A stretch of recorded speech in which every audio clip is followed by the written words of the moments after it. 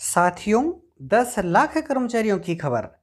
MP में new pension scheme के modification की तैयारी। फार्मूला एपी होगा लागू। कर्मचारियों को कितना होगा लाभ? इस प्रकार की लेटेस्ट और पूरी खबर के लिए इस वीडियो में आप अंत तक बने रहें।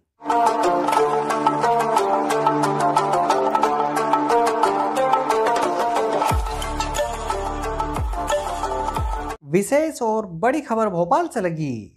मध्य प्रदेश शासन के वित्त मंत्रालय से खबर आ रही कि शासकीय कर्मचारियों की न्यू पेंशन स्कीम में कुछ महत्वपूर्ण बदलाव किए जाने की तैयारी चल रही है। जैसा कि भोपाल समाचार डॉट कॉम ने शुरुआत में ही कह दिया था कि योजना का नाम नहीं बदलेगा, परंतु फीचर बदले जाएँगे। बिल्कुल वैसा ही होने जा रहा है फार्मूला एपी यानी आंध्र प्रदेश राज्य सरकार का फार्मूला, जिन कर्मचारियों के वेतन से 10 प्रतिशत की कटौती होगी उन्हें रिटायरमेंट के दिन उनके वेतन का 33 प्रतिशत नियमित रूप से पेंशन दी जाएगी और शेष रकम एनपीएस के अनुसार निवेश की जाएगी, जिसका लाभ रिटायरमेंट कर्मचारी को मिलेगा।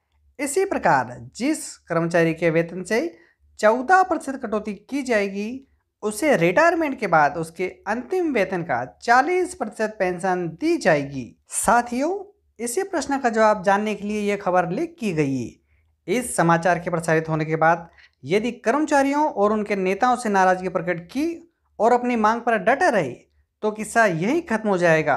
नहीं तो आंध्र प्रदेश से जो फार्मूला मनाया जा रहा है, मंगाया जा रहा है, वह लागू कर दिया जाएगा। साथियों, मेरे मत अनुसार एमपी सरकार कर्मचारियों के लिए चाहे एनपीएस लागू करे या एपी लागू करे, लेकिन कर्मचारियों को लाभ केवल और केवल ओल्ड पेंशन स्कीम से होगा। तो साथियों, आप भी अपने सुझाव, आप अपने विचार वीडियो के कमेंट बॉक्स में रखना न भूलें। दोस्तों, वीडियो के इस टॉपिक पर अपने विचार व्यक्त करना ना भूलें। जाते जाते इस वीडियो को लाइक कीजिए और इस चैनल को सब्सक्राइब कीजिए व पास वाले बेल पर प्रेस कीजिए, जिससे जब भी वीडियो अपलोड किया जाएगा, सबसे पहले आपको प्राप्त होगा। इस चैनल के अगर अदर वीडियो देखना चाहते हैं तो वो भी आपके सामने चल रहे हैं। उनको देखिए और अधिक से अधिक शेयर कीजिए। Thank you